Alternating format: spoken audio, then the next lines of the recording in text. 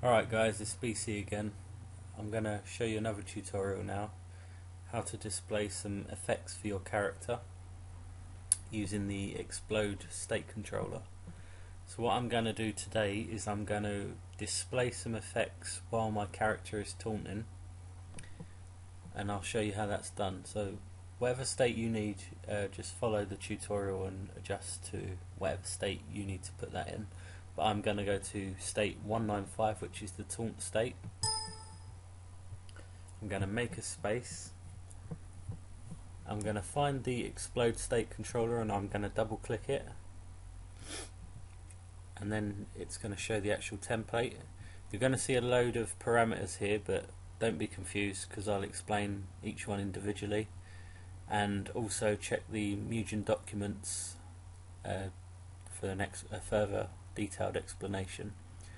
Trigger 1, that's when you want the effect to, to show. Trigger is when the actual state controller will be triggered. Uh, so what I'm going to do is go to my animation of my taunt, which is here. Begin action number 195. I'm going to go to an appropriate frame, frame 4. And then I'm going to type in anim elem, animation element equals 4. Animation element just means which frame. So there you go. Anim is the number of my effect I want to play. I'll just find one now, a, a random one. There we go. So 9011.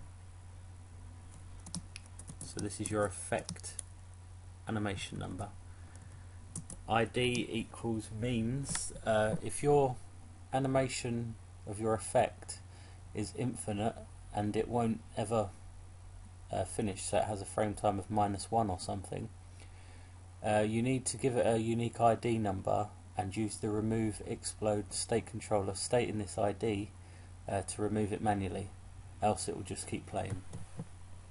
But we're going to remove that because we don't need it for now, because our animation doesn't have infinite frame time pos is the x and y position of your pos type which our pos type is player 1 so that's good because we want to display it on the character. Uh, facing equals minus 1 as we're as we're displaying our graphic on player 1 it will face the same way player 1 is facing. If you change this to minus 1 it will face the opposite direction that player 1 is facing. So we're going to remove that because we don't need it because it's a, a, default value of 1 which is facing the same way as our player which is fine.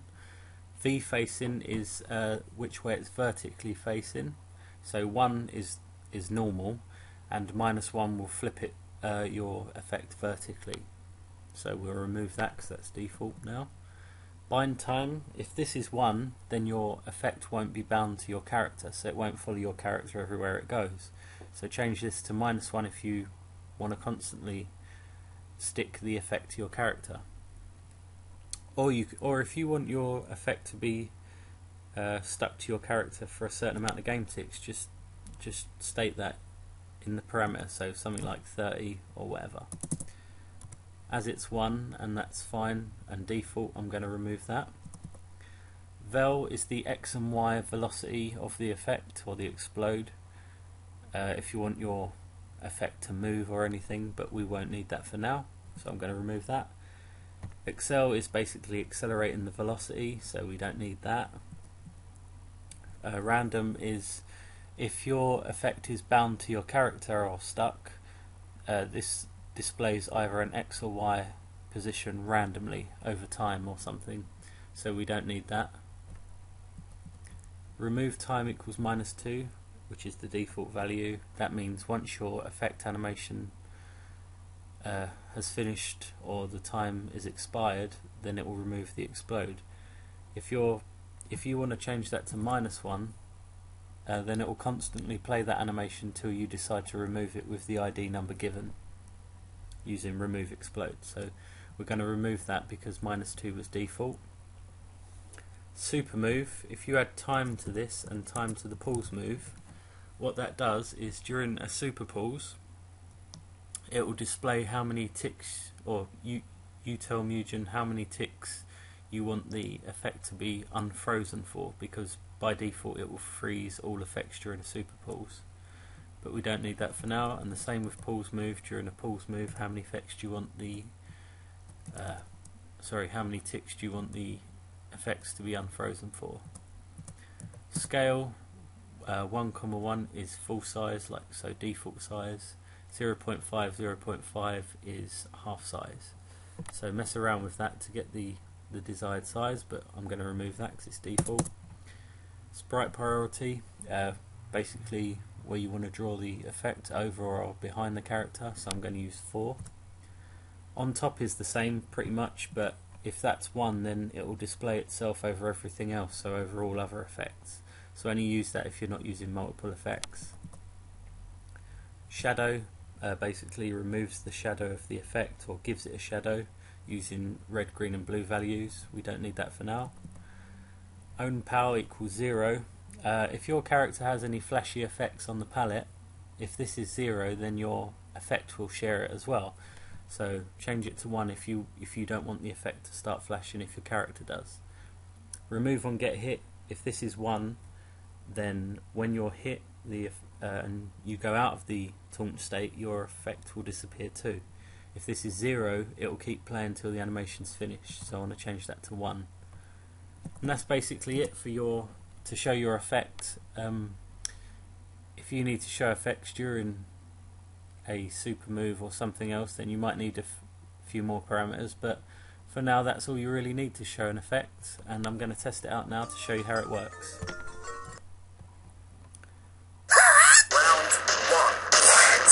So I'm going to play my taunt now and you'll see the effect. Okay, um, just quickly, the position equals 0, 0. If you want to position your effect onto the character at a certain point, you want to click this button here, which is the offset view. On the left, uh, this is your character. You want to find the action number, so my taunt was 195 and it was frame 4 it counts 0 as one frame anyway so I'm going to go to that one. And then on the right hand side is my effect animation number and I want to drag it and put it onto player 1 exactly where I want it to display and then let go of the mouse button and it will give me x and y coordinates so x15 y equals minus 65 and then I want to put it in the position here so 15 minus 65 load it up again, and then it will be in the exact position you need.